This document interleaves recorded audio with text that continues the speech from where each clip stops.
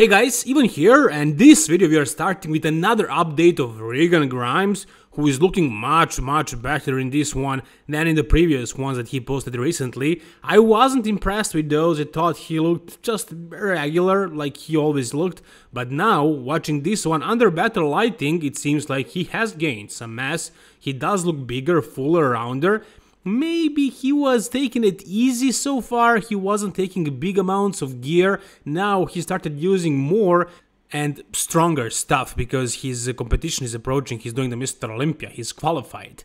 And uh, from the front, he wasn't always that good, but from the back, he was like one of the best guys in the industry right now. He has an insane back, Crazy looking hamstrings, great glutes, overall his rear side is just phenomenal. Back double bicep, back lat spread, it just looks really good. I would like to see more detail and granity, grainy look, but still it's very good. Most muscular, delts and overall fullness, he has that, it looks good, but the legs are kind of taking a few points away from him. The quads, the quads from the front, they are smaller. Look at it now when he spreads them a little. I would definitely love to see much bigger and fuller quads than this. But I would say the major weak point for him is just the maturity, you know. He's not even that young. I mean, like Nick Walker is, I think, two years younger, something like that. And he has the maturity. I think it's just the way he's training, maybe combined with the genetics. He does have crazy fullness, roundness, and he will probably last forever. He will probably be competing if he wants when he's 50 because because of his training style. He's not punishing his body too much. He's not destroying his ligaments, tendons, joints, and, and stuff like that. He's training like the, the way Dexter Jackson trained uh, for the majority of, of his career. So for that reason, he looks fresh. You know, he doesn't look super grainy, but he does have the round, nice aesthetic look and it's gonna take him a long way, but uh, it's gonna be interesting seeing him compared to some guys who are quite the opposite, such as James Hollingshead. So James is a couple of years older than Regan, but as far as how long they were competing in pro ranks, they are kind of similar. And uh, James, he's training completely differently. He's a powerlifter, basically. I mean, he's stronger than 99% of powerlifters. He's incredibly, incredibly strong, and even if you didn't know that, I'm sure you would assume you would guess that this guy is incredibly strong. This is him right now, prepping for the Mr. Olympia as well. He also qualified last year, just like Regan. So Regan's weak points are legs, quads, and maturity. Now you can see that James has that maturity, even though he is not even close to being ready for the stage, he still has it, you can still see it. And these legs, these legs are squatting 8 plates, and it shows, you can definitely see that. Humongous legs, and he definitely improved them since last year. Completely different look than Big Ramy, but just these legs are forming a circle. I mean, they are so thick, they're forming a circle. Look at it, I mean, it's literally a circle right there. So this guy is gonna have one of the biggest legs on that stage. Him and Big Ramy and Hadi, those guys are gonna be humongous. I'm really curious to see how James will place. And I'm really curious about the rematch against Regan. Last year at British Grand Prix, James won and Regan was second. As you can see from this, uh, it's a front shot, but it's taken from an angle. You can still see the difference uh, in, in leg size and also the maturity through the chest, shoulders, and arms. And even though Regan just flows so well from the back, you can still see that the hamstrings and glutes, they are about similar conditioning. I don't know who is more conditioned here, but I think James just has that maturity, he has the muscle density. And you can obviously see, as he says, who is picking up heavy stuff from the floor here on this stage, who is doing heavy squats with 8 plates. I think that's the only difference, and I think that's why James won. And is it going to be the same case at the Mr. Olympia? I don't know, because it seems like Regan made some gains, but I think James made way more gains, and I think it's not going to be comparison this year. I think uh, James will outclass Regan this year. This is what James is doing at the end of his workout. It's absolutely ridiculous how strong this guy is. This was seventh exercise, guys. seventh exercise.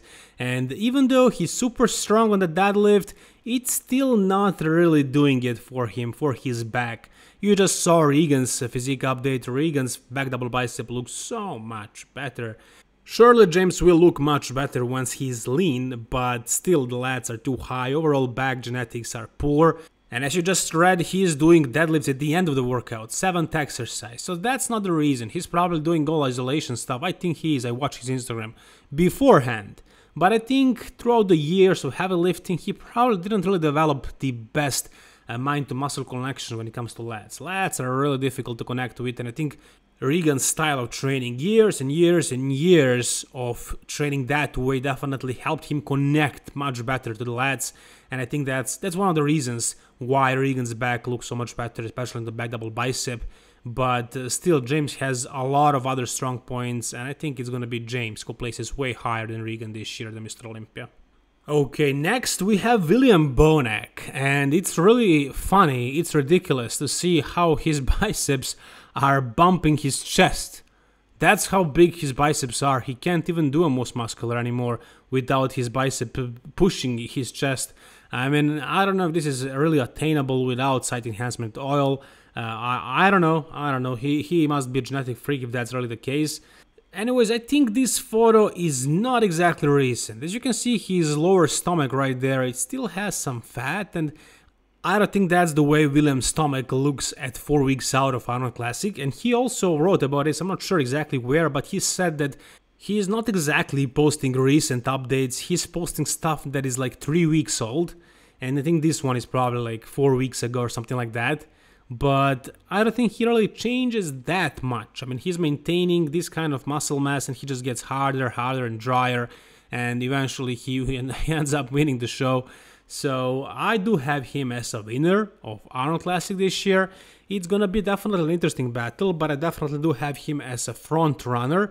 Of course, he's the defending champ. He won it two times. He's going for the third time. He's gonna have a lot of guys, a lot of good guys to beat if he wants that title again but the way he looks right now, big and full and round, it, it looks like it's gonna be a better version than we saw last year. And last year's version was top 5 at the Mr. Olympia, so it's gonna be really hard beating this guy. I don't know, I think he's gonna win it. The only guy so far that I can imagine beating Bonac might be Nick Walker.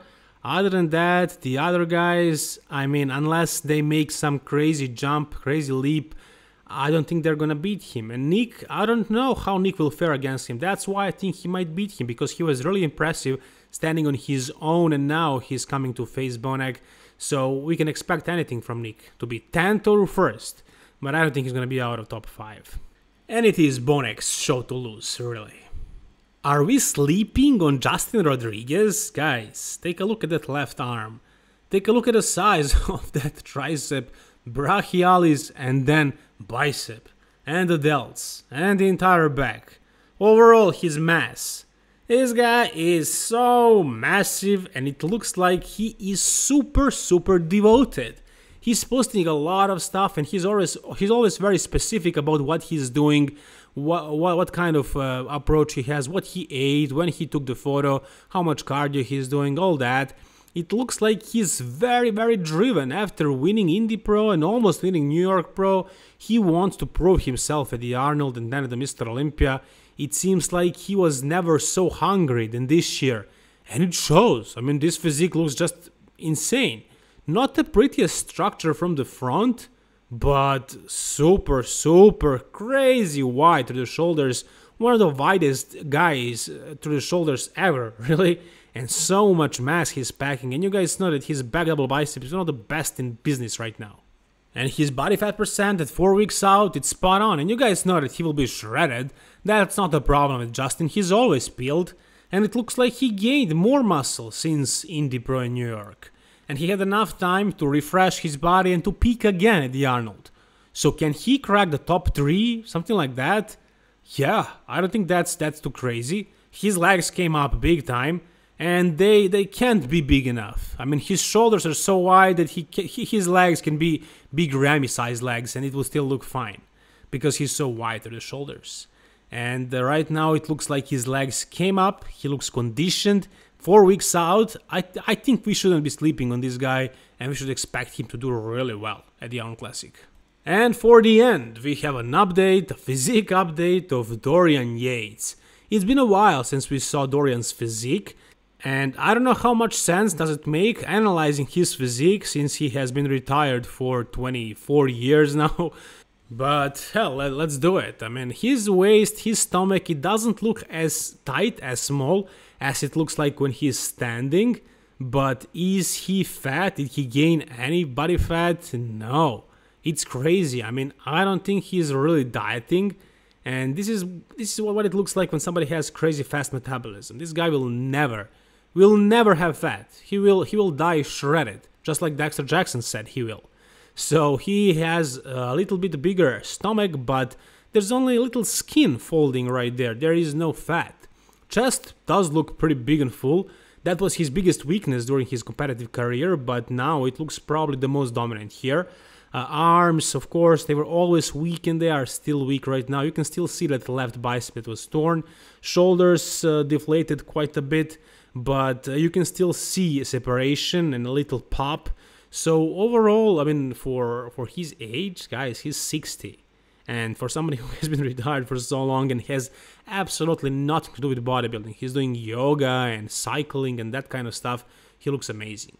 He looks happy, he looks healthy, he says to us, just be.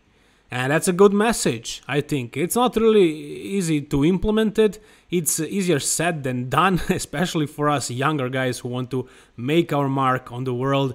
Uh, it's definitely easier for somebody who has been through it all and done it all and seen it all. So I think Dorian should just be, and not necessarily everybody, not just yet, but that's just my take. Whatever you guys think about what Dorian said, and or about his physique, Tell me in the comment section down below. If you enjoyed this video, like it guys. If you want to see more, subscribe to my channel. All the best guys and bye bye.